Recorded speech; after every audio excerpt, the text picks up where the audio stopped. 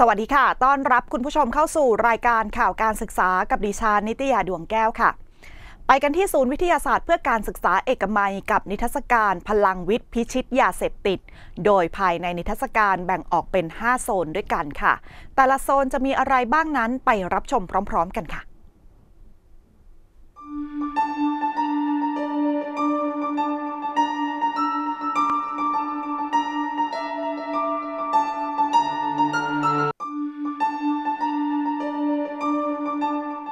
สวัสดีค่ะยินดีต้อนรับเข้าสู่นิทรรศการพลังวิทย์พิชิตยาเสพติดนะคะ ดิฉันพรทิพย์สกลกูลนักวิชาการศึกษาชำนาญการพิเศษค่ะ ก็วันนี้จะมาแนะนำนิทรรศการที่น่าสนใจอีกนิทรรศการหนึ่งนะคะ ที่ชั้น 1 อาคาร 2 ศูนย์วิทยาศาสตร์เพื่อการศึกษาค่ะ ซึ่งนิทรรศการพลังวิทย์พิชิตยาเสพติดนี้ก็ได้รับการสนับสนุนนะคะ งบประมาณจัดสร้างโดยสำนักงานคณะกรรมการป้องกันและปราบปรามยาเสพติดค่ะ ก็ขอเชิญเข้าชมในนิทรรศการเราได้เลยค่ะ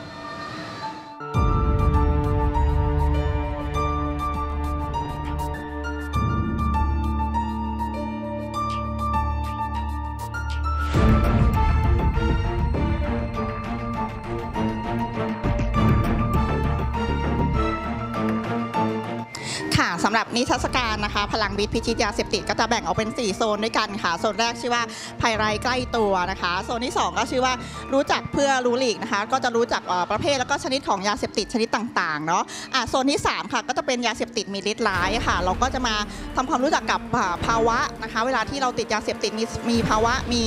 ลักษณะอาการที่จะส่งผลต่อร่างกายจิตใจของเราอย่างไรบ้างค่ะ แล้วก็โซนสุดท้ายค่ะโซนที่สี่ก็คือโซนกลับตัวกลับใจสังคมให้อภัยค่ะ ก่อนที่เราจะออกจากห้องราชการนี้เราก็จะได้รู้ว่าเออเราสามารถบำบัดนะคะยาเสพติดได้ที่ไหนบ้าง มีวิธีป้องกันอะไรอย่างไรบ้างค่ะ ก่อนที่เราจะออกจากราชการพลังวิทย์พิชิตยาเสพติดไปก็จะได้ทั้งความรู้ความเข้าใจนะคะ แล้วก็แนวทางในการป้องกันต่างๆ ด้วยค่ะ